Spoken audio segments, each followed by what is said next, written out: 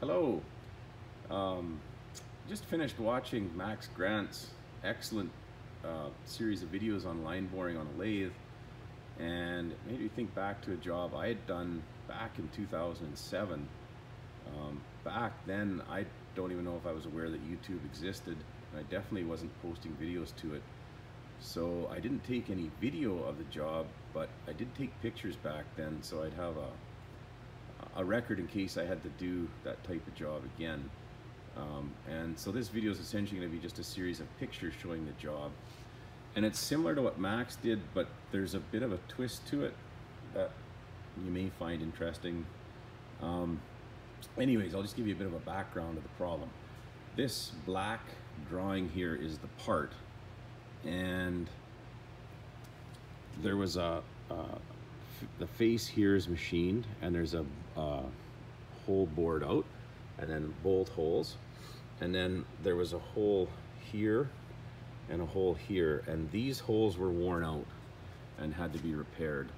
And my customer had welded them up um, but they had no ability to machine them and they approached me to see if I could do it.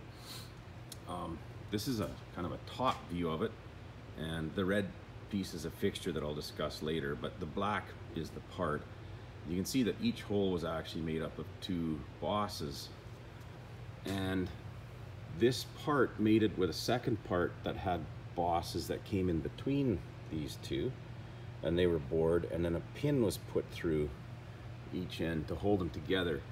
This part needed to be able to slide back and forth. There was a bit of clearance between the bosses so it could move. Um, but the part definitely didn't want it rattling around. So they had a very close sliding fit on the pin, which meant that the spacing between those sets of holes had to be uh, very accurate. And so that was essentially my task, how to bore those holes to a an accurate enough size that they could press a hardened bushing because they actually line these with bushings and to get the spacing and parallelism close enough that the pin would go through without binding. So my first uh, thought was, well, I'll, I'll take this and actually turn it 90 degrees from how it's shown here and just bolt it down to my milling machine table. And then that would allow me to bore these out. Um, of course, it would be vertically. Um, and I would, could do that by setting it on this machine face and putting a drawbar through the middle. And I tried that, and the first couple of pictures show that setup.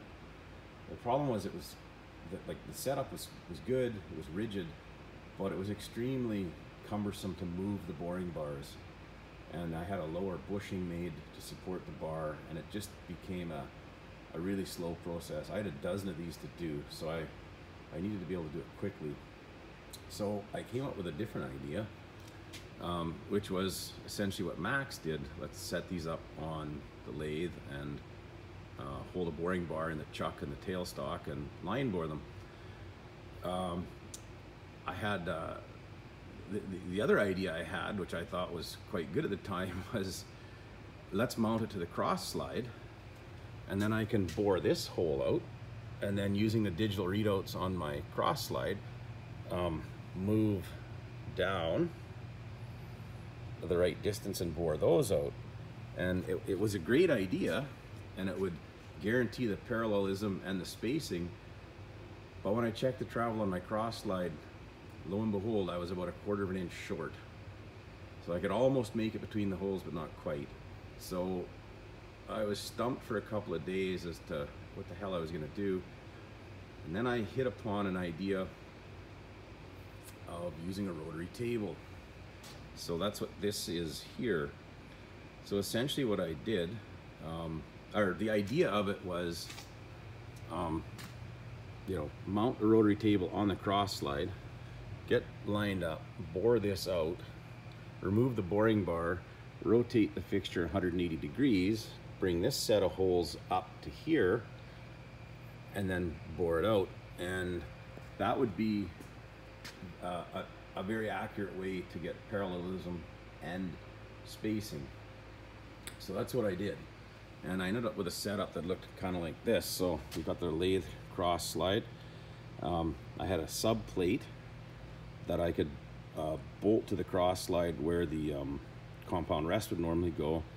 Then I bolted the rotary table onto that, and then I built a fixture. And I actually still have the fixture. It's right here.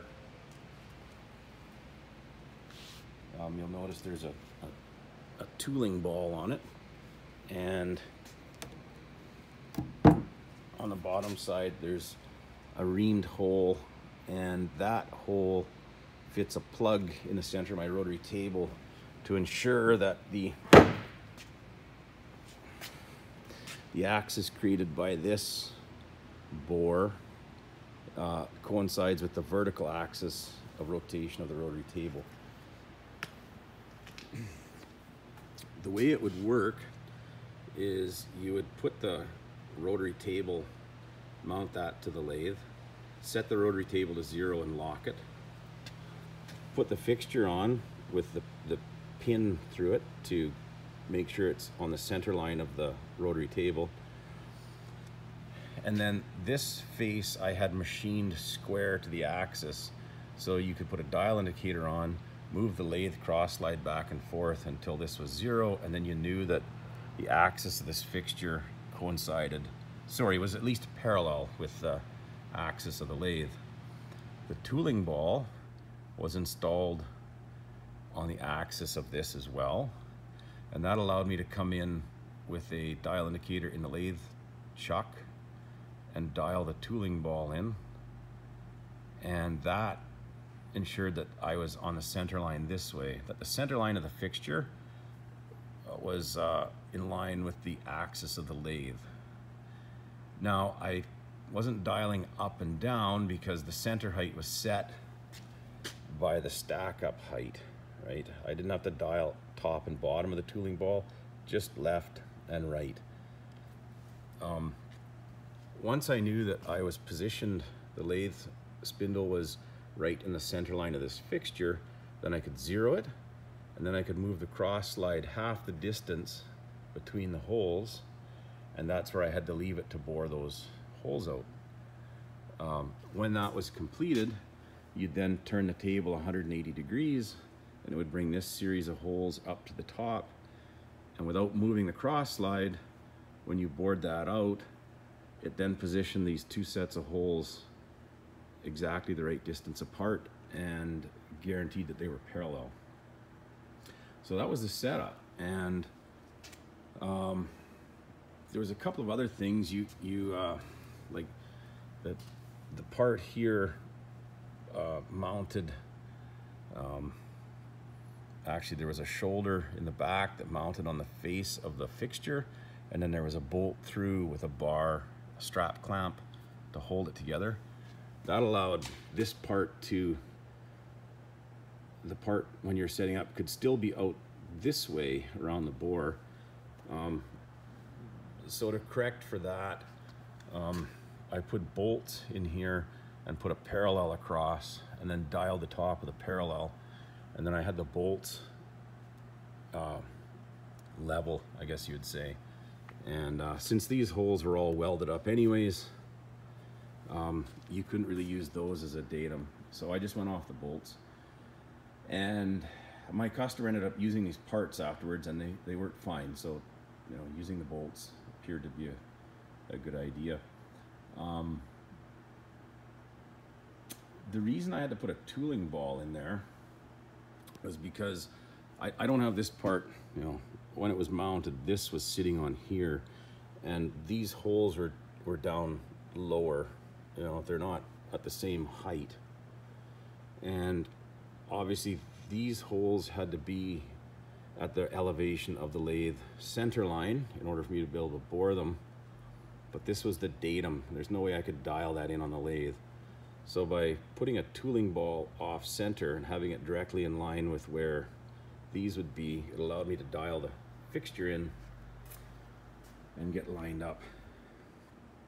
So anyways, that's the setup. Um, like I said, I did a dozen parts.